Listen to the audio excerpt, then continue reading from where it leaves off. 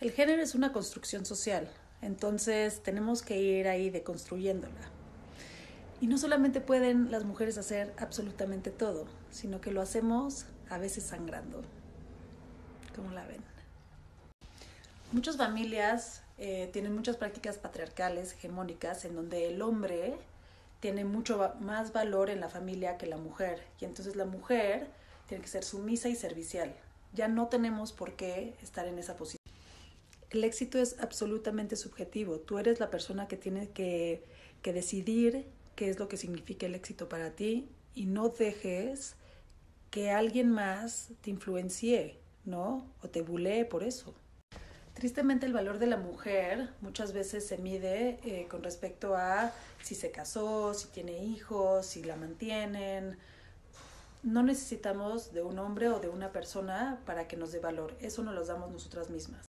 Es que estos estereotipos también aplican mucho a los hombres, ¿no? O sea, muchos hombres viven bajo expectativas y parámetros que ellos no quieren cumplir porque esos saben que no los van a hacer felices. Deconstruyanse, no tienen por qué seguirlos. En algún momento dado mi papá presumió que uno de mis hermanos iba a casarse con virgen y la verdad es que me retorció el estómago. Por favor, no es que se casen o no vírgenes, pero ustedes son dueñas de su cuerpo, hagan lo que quieran con él.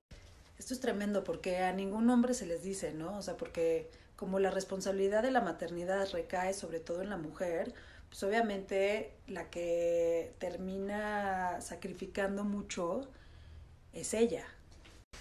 Y aunque el heteropatriarcado no lo piense igual, tú no eres la propiedad de nadie más. Y la honra es tuya, no de la familia. Tu cuerpo es tuyo, tú decides y nadie más.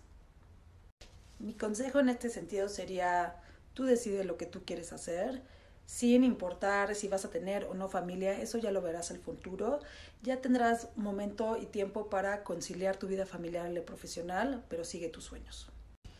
Creo que el parir para muchas mujeres no es algo fundamental dentro de la maternidad y tu cuerpo es tuyo, tú decides. Nadie más puede decidir este, sobre si quieres embarazarte, parir o no. Si quieres ser madre y adoptar, hazlo.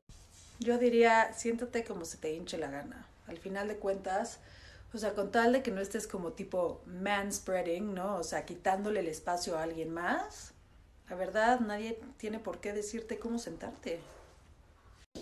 La neta, yo he sufrido cabrón con este tema porque siempre recibí muchísimos comentarios, luego mamás no me no dejaban a sus hijas llevarse conmigo, mi papá diciéndome que era una vulgar o mis hermanos. Y la neta, ya lo dejé ir, me vale madres. Tres cosas. Una, las mujeres pueden hacer lo mismo que los hombres o cualquier otro género. No nos limiten. Dos, nadie se ve bien ahogado o vomitando de pedo. Y tres, please, déjenos empedar a gusto sin tener el temor de que nos van a violar. Yo creo que si amamos a nuestras hijas, lo que deberíamos de tratar de hacer es promover que sean independientes y que salgan de casa de sus papás a sus propias casas, no a casa de sus esposos. Digo, por eso, o sea, criamos a seres no independientes.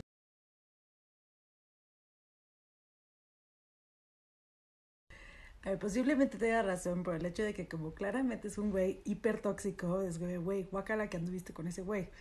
No, pero en serio, güey, la virginidad para los hombres y para las mujeres es igual. Una vez que la perdiste, la perdiste y ya está.